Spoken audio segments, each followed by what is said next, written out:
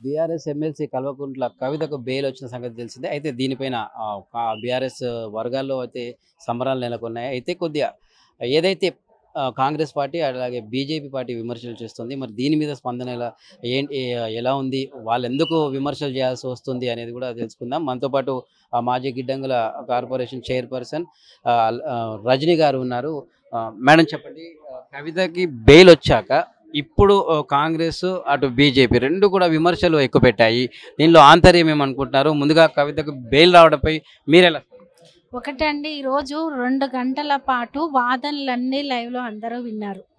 ఐదు నెలల కాలం పాటు ఒక మహిళను ఎటువంటి సాక్ష్యాలు లేకుండా ఎటువంటి నిర్ధారణ కాకుండా ఉంచడం ఏంటి అనేది సుప్రీంకోర్టు మాట్లాడడం అనేది మీరంతా ఐదు వేల పేజీల ఛార్జ్ షీట్ దాఖలు చేసినాక కూడా ఆ కేసుకు సంబంధించింది ఎటువంటి కూడా సాక్ష్యాలు మా ముందు ప్రవేశపెట్టలేదని ఆ రకంగా ఈరోజు బెయిల్ మంజూరు చేయడం అనేది మనం చూస్తున్నాం. అయితే బీజేపీ కావచ్చు కాంగ్రెస్ కావచ్చు.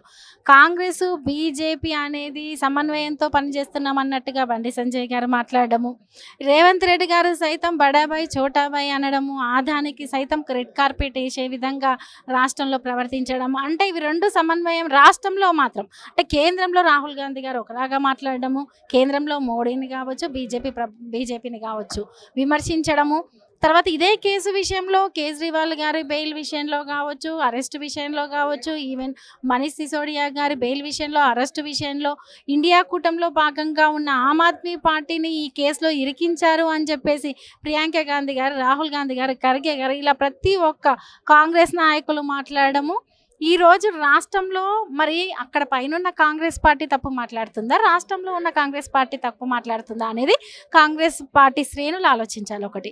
రెండవది ఇప్పుడు ఇక్కడ ఉన్న బండి సంజయ్ గారు రేవంత్ రెడ్డి గారు ఇద్దరు మేము సమన్వయంతో ఉన్నాం మనం అనుబంధమై పనిచేసుకుంటే వెళ్దామనే హింట్ వచ్చే విధంగా మాట్లాడడం అనేది మీడియా సాక్షిగా అనేక సందర్భాలు చూసాం వీళ్ళు ఈరోజు రాజకీయంగానే కేసీఆర్ గారిని ఎదుర్కోలేక ఒక మహిళను అడ్డు పెట్టుకొని ముఖ్యంగా తెలంగాణ ఉద్యమంతో సంబంధం ఉన్న బీఆర్ఎస్ పార్టీని ఇబ్బంది పెట్టడానికి కవితక్కని ఇబ్బంది పెట్టడానికి కేటీఆర్ కేసీఆర్ గారిని ఇబ్బంది పెట్టడానికి చేస్తున్న కుట్రలో భాగంగా నే ఈ కేసు ఉంది ఇది అసలు తప్పుడు కేసు అనేది మొదటి నుంచి బీఆర్ఎస్ పార్టీ చెప్తుంది పైనున్న కాంగ్రెస్ పార్టీ కూడా అదే చెప్తుంది. కానీ రాష్ట్రంలో మాత్రం నోటికొచ్చిన విమర్శలు చేస్తూ ఎట్లంటే అట్లా మాట్లాడుతూ ఇక్కడ బీజేపీ పార్టీ ఏమో కాంగ్రెస్ తోటి కుమ్మక్కైందని కాంగ్రెస్ పార్టీ బీజేపీ తోటి కుమ్మక్కైందని ఇది రాజకీయంగా కాదు చట్టబద్ధంగా ఒక జ్యు జ్యుడిషియల్ని గౌరవిస్తూ జ్యుడిషియల్ చేసిన తీర్పును మీరు తప్పుపడుతున్నారంటే మిమ్మల్ని ఏ రకంగా అర్థం చేసుకోవచ్చు అనేది తెలంగాణ ప్రజలు ఖచ్చితంగా గుర్తించాలి.